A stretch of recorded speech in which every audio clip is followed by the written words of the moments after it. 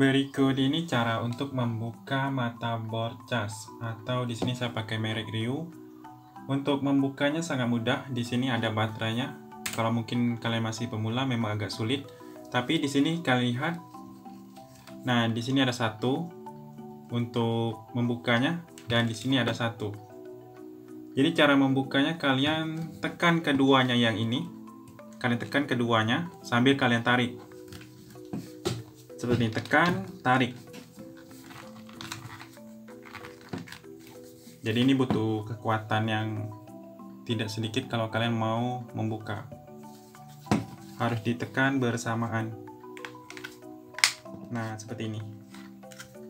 Baru bisa dibuka. Kalau untuk memasangnya cukup mudah langsung di dorong saya dari belakang. Nah kalau untuk membukanya harus ditekan keduanya Jadi harus ditekan di bagian ini. Ini dan di sini. Jadi itu saja silakan dicoba.